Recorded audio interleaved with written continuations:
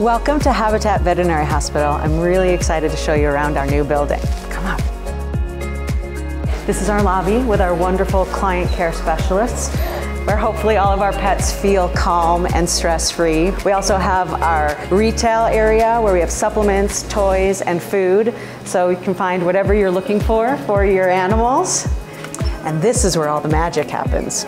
Our pharmacy and lab. And here's our treatment room with surgery and two dental suites. So we have a number of exam rooms here that are very open and spacious so your pet doesn't feel confined and they help blur the line between inside and outside so our patients feel comfortable. What do you think of that, Henry? Our doctor's office is an open area where we like to collaborate and discuss all sorts of different cases. Hydrotherapy room is a center of the physical therapy department and is one of two in the valley.